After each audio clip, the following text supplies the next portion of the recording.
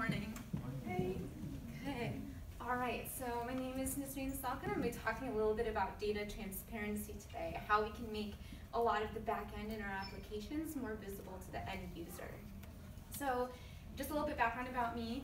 Um, it's lovely to be back in my college town of Ann Arbor. I got like, two undergraduate de degrees here and graduated with my master's from the School of Information just last April. I'm currently a lead product designer over at Ford Motor Company in Dearborn. My department is the Mobility Analytics Products and Services Department. We collaborate with data scientists on a series of different applications, some of the UI, some that are purely back-end uh, products. Please feel free to follow me on Twitter or email me with any questions. I'll put my contact information back up on the board when I'm done with my presentation. Um, so welcome to World IA Day. First off, let's start with some definitions. I'm going to talk a little bit about how I see an algorithm and how that connects to the UX space. This is a very basic definition over here that an algorithm is a logical progression that makes optimized decision given parameters within defined constraints. Sounds very boring, so let's break it down a little bit. So the first piece is that it's logical. So that means that this is a step-by-step -step process. Code can be very elegant in how it's written, but it also has to follow certain rules. If this, then that. While this happens, do that, you know? And so when you talk to data scientists who are writing these algorithms and have them explain to you that logical progression, suddenly you have a workflow and a system that you can understand. The same way that we map, we map workflows and systems out in the real world. So that logical piece is absolutely essential in order to communicate about what an algorithm is with your colleagues. The next piece is that algorithms are optimized. So that means that they have a particular goal in mind. And when you're aiming for one particular goal, that often means that there are trade-offs. Um, if you're optimizing based on someone's personal tastes, like a recommendation algorithm, where are you getting that data from? What are you prioritizing there? And understanding how that algorithm is optimized can tell you what sort of things you're trying to prioritize in that space. The next piece is that there are parameters involved. So the parameters are the variables that play that make that optimization possible. So if you're trying to achieve a goal, it's sort of the how behind that. And how you weight parameters determines whether or not you're actually optimizing for the best possible outcome. So as you can tell here, there's a bit of a like, um, you have a workflow that is based on certain um, goals that are defined by variables and operate within a scope. That's the constraints part. The fact that you're operating within a specific space and understanding the environment in which an algorithm is at play can really help you understand um, what it means to your end user. So that is a very brief overview about what an algorithm is and can be. Um, I'm going to talk about a few examples so that you guys have a better understanding of how it applies in the real world, the companies we all know. So Uber, for example, has a routing algorithm that helps you get from place to place. Um, in order to give you an accurate estimated time of arrival to the drivers, they have to take into uh, account traffic conditions and the weather and a couple of other factors. Those are the parameters here. They're optimizing to get you somewhere as quickly as possible, right? And um, the constraint is within whatever geographic area you have specified. So that is the Uber algorithm. Amazon and Netflix have recommendation algorithms like I briefly mentioned before. If you liked this purchase, perhaps you would like this purchase. Because you looked at that item, maybe you would like that item. Netflix, when they first rolled out the recommendation algorithm, actually included labels that make it very, very clear what they were trying to do. Because you watched such and such, maybe you would like this like list of other options. So they were actually calling out the fact that they were using your previous like uh, watch history to determine what sort of things they would recommend you watch in the future. And that builds a lot of trust from the outset. You know why those things are being recommended to you, and eventually Netflix stopped that labeling as people grew to trust the platform. Kayak is also up here because they're a little bit different in that they use a predictive modeling um, algorithm to determine airfares. So they're trying to give you the best possible price by estimating when prices are going to go up or down, and they actually train on historical data to do that. Um, so algorithms are really everywhere in all the applications that we use on a daily basis. But a lot of times we don't really think about them. We look at kayak and we're annoyed by the spacing or by like the way they order materials or how their filters work, and that's great. But we also need to peel back that front end layer and look at what's hidden underneath because that also has an impact on the overall user experience. And so like where is the UX, you know? So like it sounds all good, but where exactly can we find that piece? Um, and the first uh, piece of it would be operations. So does the algorithmic logic match real world scenarios? And I touched on this very slightly before, but the idea is like if an algorithm is a step-by-step -step workflow of sorts, that means that we can actually map it to a real world workflow through field research and stuff like that. So um, an example I can give you here is Spotify. So Spotify has this wonderful feature called Discover Weekly. Comes in every Monday morning, right? And then it gives you a recommendation of things that you might want to listen to. And they do this based on like really advanced analytics, like textual analysis. They're looking at the rhythms of what you listen to and trying to match it to other songs or albums or artists. And that's phenomenal because that means users are getting recommendations for music they would actually like. But the downside of that is that you're never exposed to new music that you never thought to listen to. You're stuck within this little bubble. You're not pushed out of your comfort zone. So at the end of the day, what Spotify needs to do is go out to their users and determine, okay, what are our users' goals? Does everyone go to Discover Weekly to find more music that they know they'll like? Or do they go to Discover Weekly to explore new genres and explore new areas? Are people looking to get out of their comfort zone or not? And so how you optimize that wonderful recommendation feature is highly dependent on the goals that your users may have. And the only way you can get that information is by going out and talking to users and employing the UX methods that we're all familiar with. The second piece is like the human element. So a lot of people think about algorithms and data and it seems like a cold hard science, but there is this huge human element there. And there are emotional implications attached to any sort of decision making, logical or not. So a very popular um, story that came out a few years ago was about Target uh, sending out personalized ads to a 16 or 17 year old woman who had not yet told her parents that she was pregnant. And so all of the ads were for like diapers and prenatal vitamins, and it created this whole little snafu in her life and opened an investigation by the New York Times about well, how is our personal data being used to target um, the customers. And the thing is, the reason Target even did this in the first place is because Target is not the everything store, or at least like that brand that they're trying to portray wasn't very successful. People came for one thing. They came for the cleaning supplies or they came for the furniture. It was never really the one-stop shop for all of their various departments. So they're like, let's go to people who are at vulnerable stages in their lives where their routine has broken down and use that opportunity to create to form a habit, right? Let's bring them here and show them that like, yes, this can be your one spot and we can establish a new routine for them. Um, and so that's and so they specifically made a targeted campaign to potentially new mothers, and that's how all this came about. So it was very much a business decision, but they forgot about the emotional implications of actually aggressively um, targeting people who are at those vulnerable stages in their life. No one wants to be taken advantage of in that way, and it was a huge PR problem for them once that information got out. So if there's people there who can act as the voice of the user and remind people about the downstream impact of these decisions, then a lot of that could have been avoided. The next piece is ethics.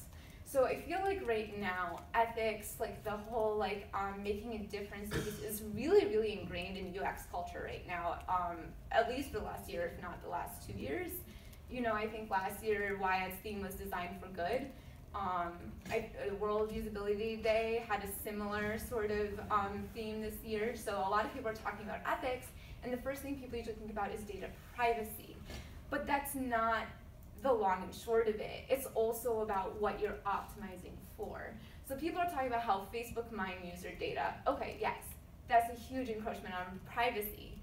But the reason they did that is because they created a business model that was based off not interpersonal communication and developing relationships, but on engagement with content because they chose a like um, like sort of a sponsorship focused business model. If people engage with content from sponsors, they get the ad revenue. That's their business model. In this case, that means their newsfeed was optimized to get you to click on things that were put by sponsors, not by your friends, not by your um, colleagues, not by anything else that actually exists in terms of personal relationships. And this was that decision to optimize the newsfeed in that way that prompted the decision to also take advantage of personal data.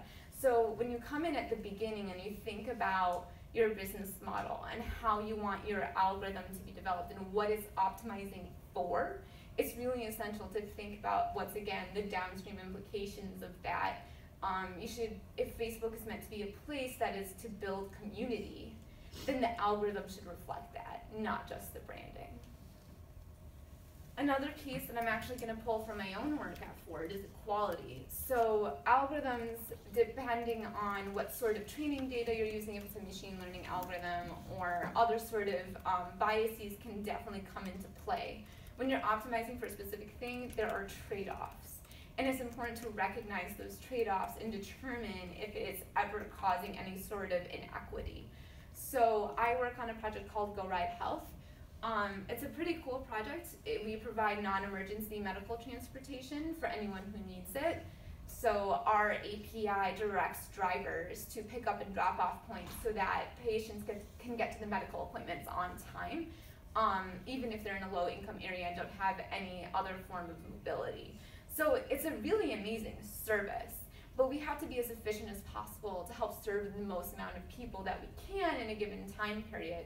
And that means we look at things such as like the boarding time. How long does it take for one person to get onto our transit van before they're able to actually take them to the hospital or to a dialysis facility or what have you? And the thing is, um, if you are in a wheelchair, it takes on average 20 to 25 minutes to board. If you are walking, it takes less than five.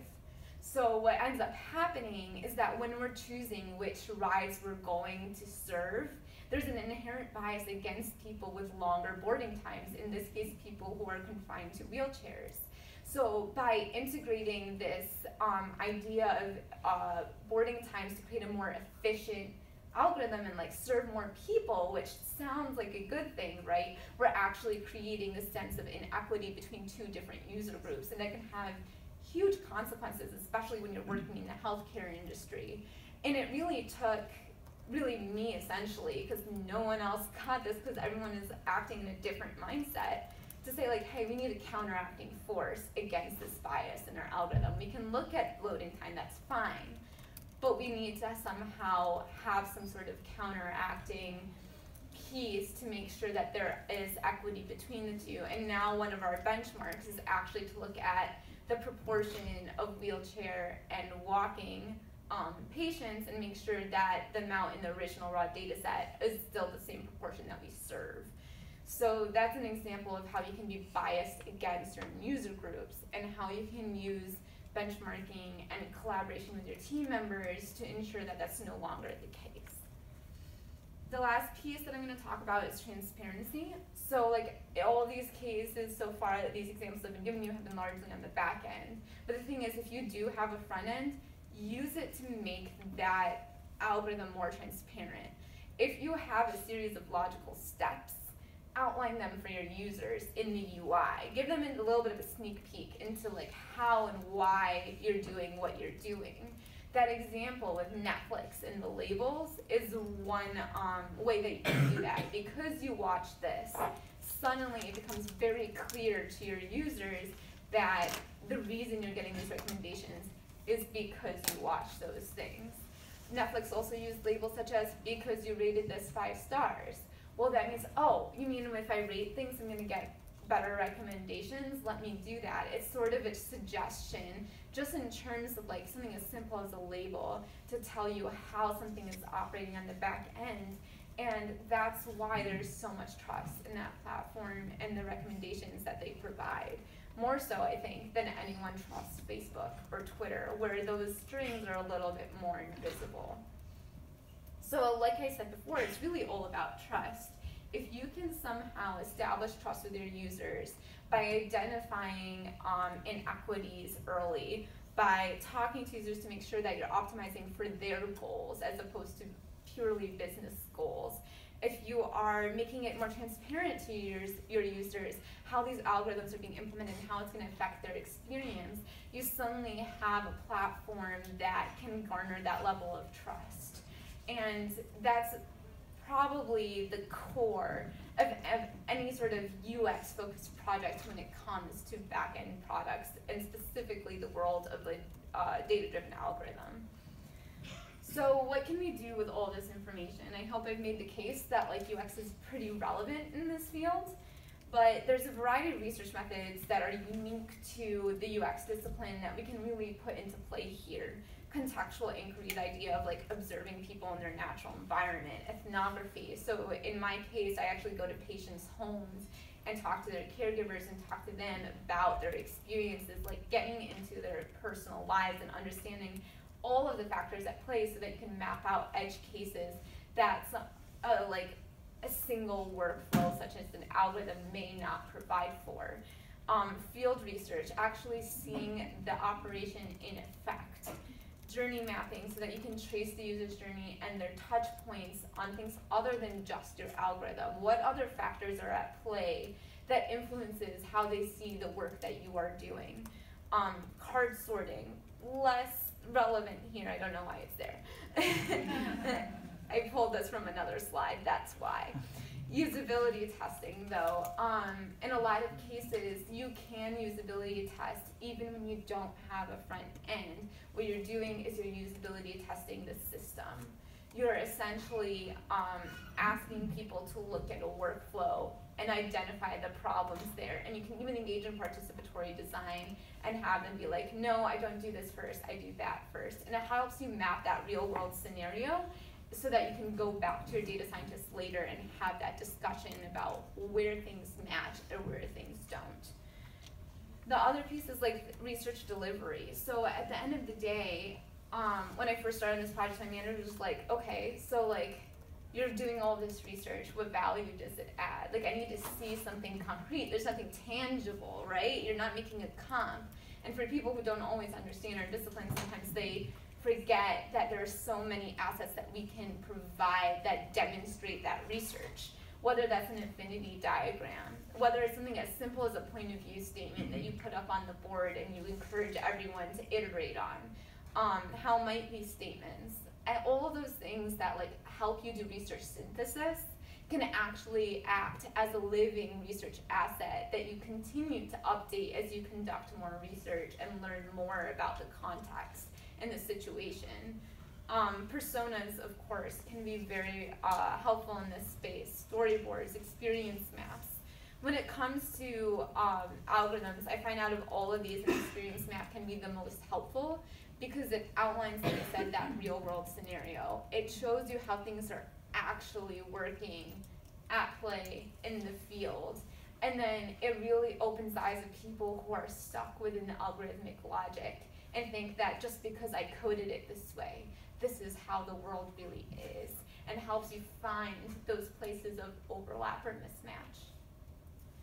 So there's a few myths that are associated with UX in that space, and as I've mentioned before, the relevancy is key here if we're going to actually make progress in being the voice of the user for back-end products and services, we have to be able to push for the fact that it's relevant and that it's important and it does have value. Um, so we have to destroy that myth, especially in large organizations where maybe that's not quite as accepted yet. And the second piece is ownership. Depending on the organizational structure of your company, you may find that people who own the front end want to own the entire research process. The difference is though, usability testing for front end and conducting generative research about the API that front end calls is going to reveal very, very different results in terms of research because you're going in with two different goals. Someone with a front end is saying like, hey, is this easy to use? And someone who's calling the back end is like, hey, is this equitable? Is this transparent? It's a, it's, it's just um, there's a lot of opportunity for collaboration between the two spaces, but having someone who focuses on those back end features can really make a strong impact there. Um, there are a couple of obstacles too in terms of getting into this space. The first one is the skill set. So I don't believe that the traditional academic path really facilitates um, a world where like you, we can specialize in this space as much simply because it's not very popularized at the moment. There's going to be like people have to invest the time and effort to gather the technical acumen to really collaborate with data scientists. I know UMSI is fantastic about that because they force you to take classes in Python, which feels like a waste of time. It's not. so if there's any grad students here, trust me, 506 and 507 are worth it. Um, but like the idea is that not every UXer fits in that space, and that's okay. But you can go out there and learn more and self-teach um, and self-learn and gather the skill set necessary to conquer this. Um, but we need to have the initiative to do that if we're interested in this space. The next piece is like deliverables. So like I said before, a lot of people don't see the value in pure user research if you don't have anything to show for it. Um, people expect a comp because it's called like at least in my organization, product design. And then like when we like think about full stack product designers and we forget that user research component, all of a sudden it feels like you're doing half your job.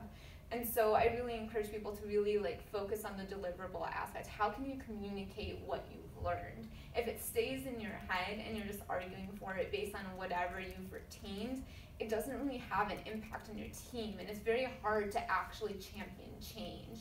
So if you're writing that down and synthesizing that research in a way that makes sense to your colleagues who may be developers, PMs, data scientists, your manager, what have you, all of a sudden you have something tangible that they can look at and recognize as valuable and important. So like at the end of the day, it's really in our hands to take the responsibility and do our due diligence for not just the front end of applications, but the back end of applications as well. And we all have the power to do that. So I really encourage you guys to think more about not just the front end, but the back end as well, and how you can make a really strong impact there. Any questions? Not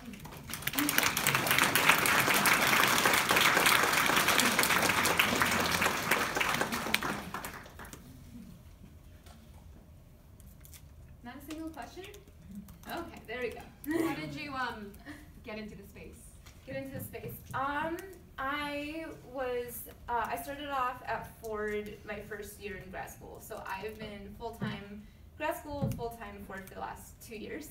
Um, it's when I first joined Ford, it, UX was mainly a shared service. Like it was like um, sort of a consultancy within the organization. And then we had this massive transformation where we created product teams and designers were suddenly embedded into one product, which was awesome because you can kind of see it end to end and really have a stronger impact there.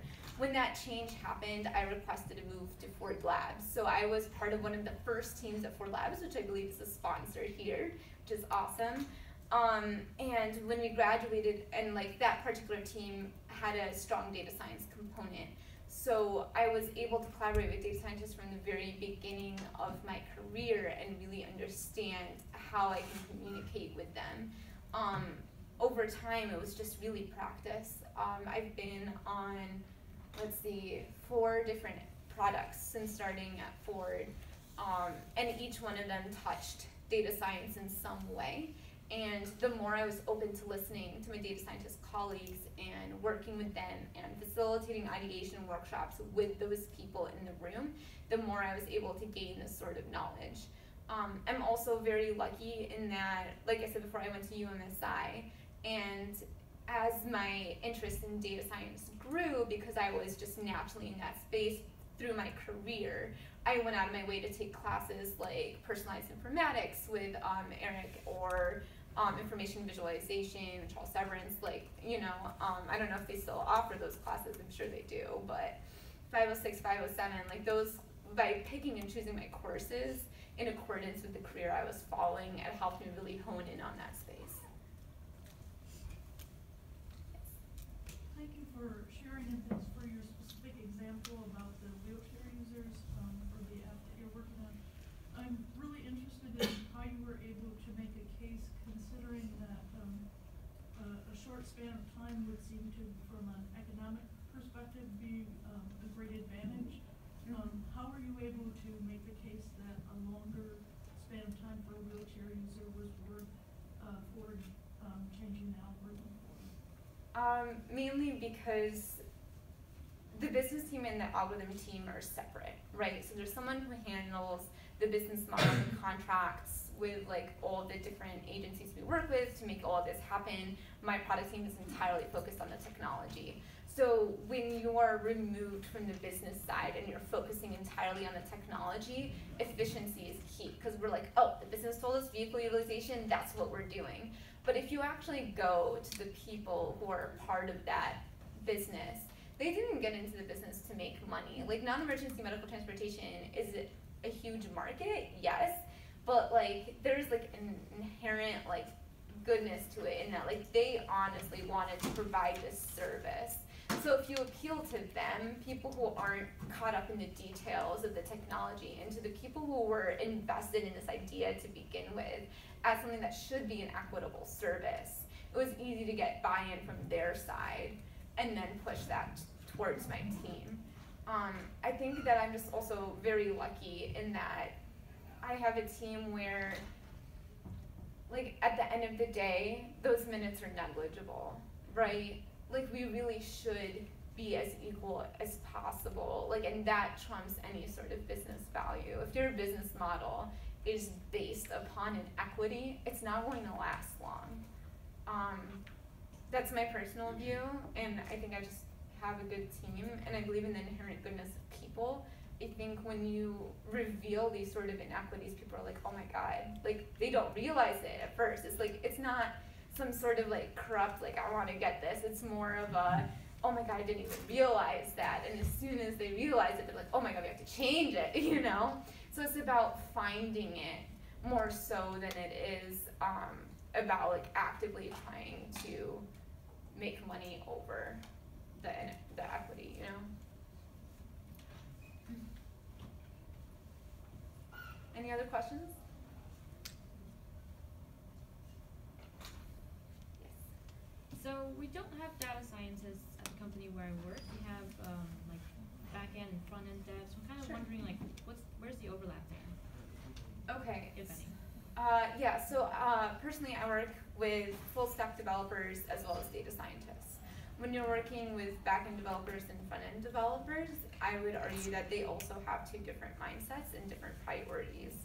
Um, I would actually recommend that, like, I don't know if you do front-end pairing, like, do you ever talk to your front-end devs and like go through the UI together? I would do the same thing with your back-end engineers and learn a little bit about how they approach solutions and their logic. And once you have an understanding of their mindset and their approach, you can start um, identifying maybe problems in that approach or like areas for improvement and kind of investigate based off of that. But like communication is key there. It's about understanding their approach and then kind of verifying the assumptions that they're making, right? At the end of the day, everyone goes into their job with certain assumptions in mind. And as UXers, we try to leave those assumptions at the door. Um, but another thing is like to be that sort of like check and balance on your team and to verify the assumptions inherent in any sort of development or technology process. That I think is the key there. Does that answer your question? Yep, thank you. okay, cool. Yep.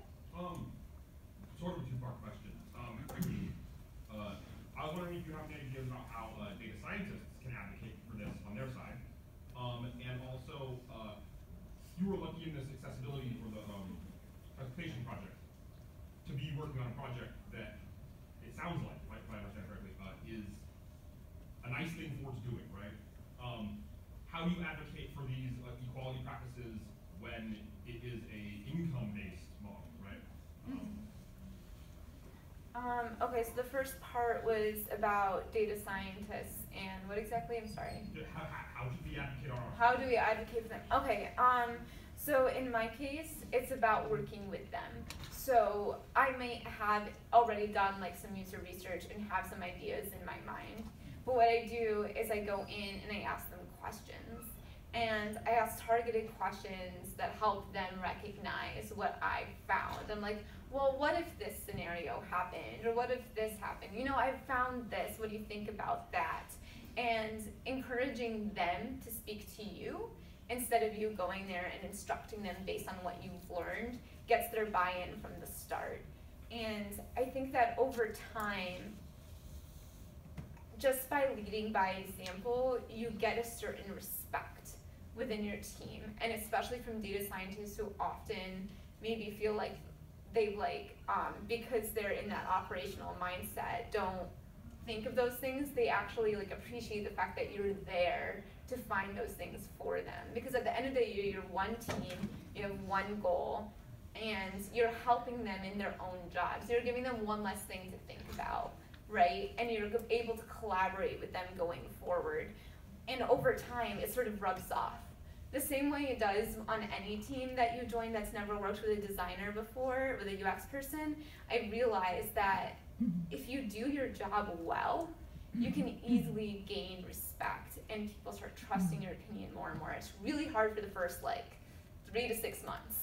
And then usually you have like this breakthrough moment where everyone's like, you know what? Like, I can't believe she thought of that. Like, I never would have thought of that. And I'd be like, I didn't think of it. The users thought of it. But sure, I'll take credit, you know? So it's kind of like that sort of relationship where as long as you're doing your due diligence, I think it comes through. Um, in terms of an income-based model, even when we have an income-based model, PR and branding is hugely important. So when necessary, you can be like, hey, what do you think about like a journalist getting their hands on this information? You know, what would happen then? Do you realize what the consequences are of going down this path? And you can kind of push it from like more of a marketing perspective, a PR perspective. Like we're gonna lose customers in the long run because we didn't provide a high, like a high quality of service. Um, because at the end of the day, your product competes on quality in the same way it competes on price or anything else. And this data transparency piece is part of that quality. That's how I would go about it. Uh, should I take one more or? No, we're done. No, we're done? Okay. No more questions, we have a break coming up in a second, at twenty minutes, so.